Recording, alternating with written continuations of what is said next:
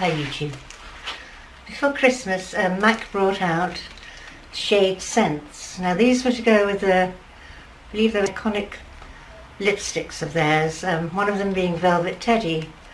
So I bought the Velvet Teddy shade scent. I bought the Velvet Teddy lipstick because I hadn't been able to get it last year.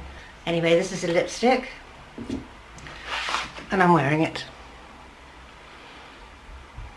Very pretty, very um, warm honey, kind of caramel colouring, very nice.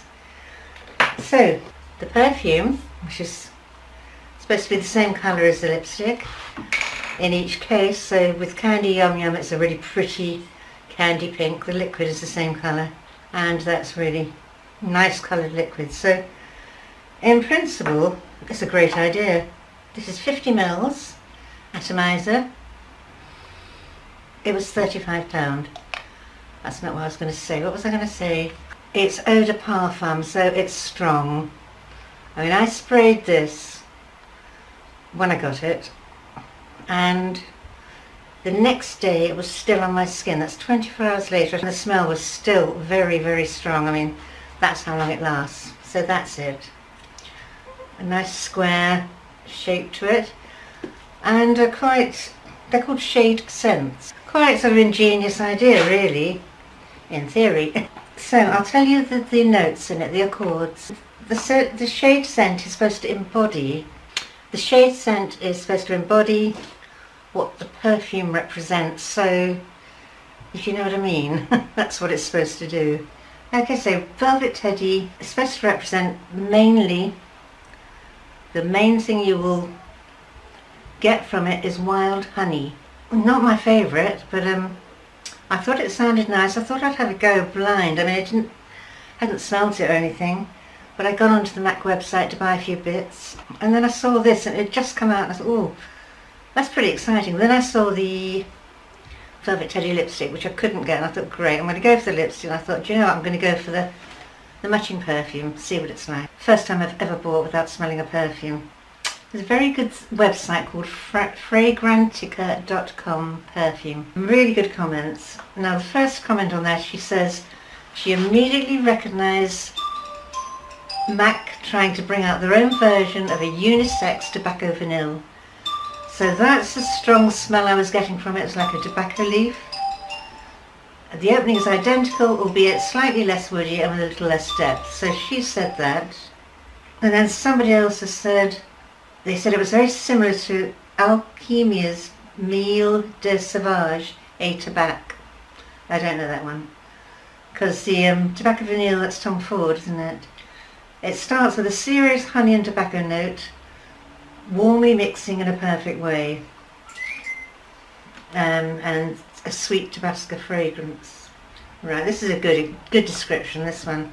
Dirty honey, honey, honey and more honey.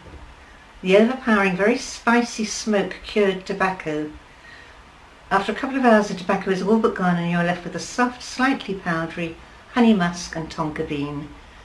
So I think that's all pretty good description of it and that's all from fragrantica.com perfume Velvet Teddy. Fragrances are, right, you've got Ruby Woo, which is a woody floral. You've got Candy Yum Yum, which is fruity, floral, gourmand. A lot of people liked this one.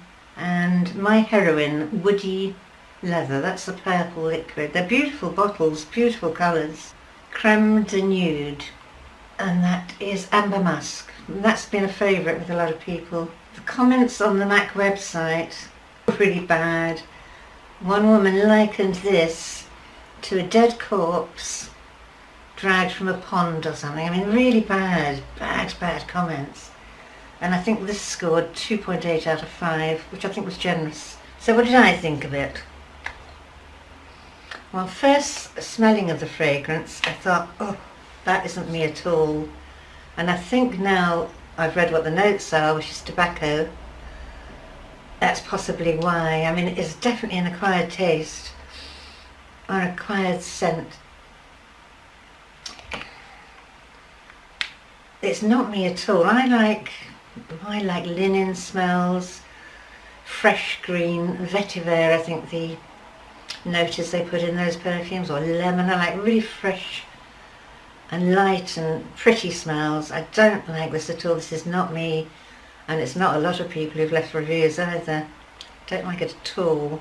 But somebody's going to love it. So for me, it's a definite no. I, I would say one out of five for me. But that's because it's not my style and it's not something, but it's not a sort of smell I like. So I'm not going to slate it and say it's disgusting, although it does smell like that to me, because it's not my taste. Okay, so that's MAC Velvet Teddy Perfume